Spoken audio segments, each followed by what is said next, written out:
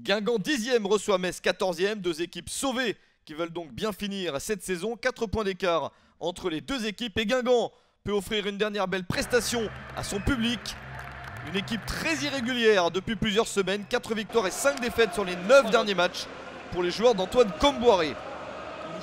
Les meilleurs buteurs de chacune des deux équipes ne sont pas là. Brillant pour Guingamp, Diabaté pour Metz, mais ça n'empêche pas d'avoir assez de joueurs pour marquer des buts dans cette soirée censée être assez ouverte, d'autant plus que Metz est la pire défense de Ligue 1. Guingamp a logiquement la première opportunité avec Yanis Salibur. Ballon capté par Eiji Kawashima. Deux victoires et un nul sur les trois derniers matchs pour Metz, qui n'entend pas se laisser complètement dominer dans cette partie. Les Messins promus cette saison qui ont déjà obtenu leur maintien. Et Metz qui essaye de réagir, de construire quelques actions intéressantes. Attention tout de même à cette relance complètement ratée. Ballon récupéré par Lucado. Salibur sur le côté. Le travail de Salibur pour ce centre.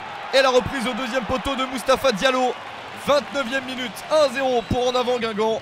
Et le cinquième but de la saison pour Mustapha Diallo. C'est une performance pour le milieu de terrain sénégalais. Il a en effet plus marqué sur cette saison que sur les trois précédentes qu'il a joué en Ligue 1 avec l'équipe bretonne. Un joli total de buts pour lui.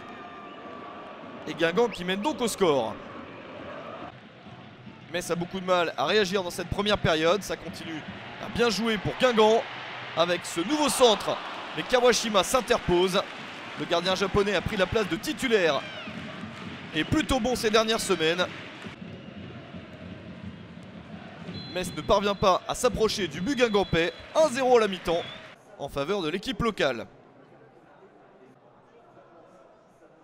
Metz espère réagir en seconde période. Pour l'instant, l'équipe de Philippe Inchberger n'est pas très convaincante.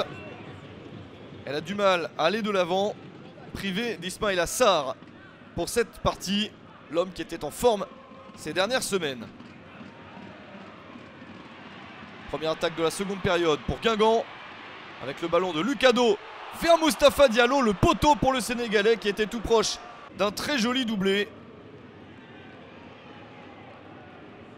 De nombreuses attaques guingampaises, mais un seul but inscrit. La menace existe toujours d'une égalisation messine. Le ballon est manqué au deuxième poteau. L'une des rares opportunités pour les Lorrains dans cette partie. Cheikh Doucouré, le capitaine de Metz, n'arrive pas à trouver le cadre. Au final, c'est bien Guingamp qui s'impose 1-0. Les Bretons ont réussi leur saison en terminant à la dixième place. C'est également le cas du promu Messin qui termine 14e.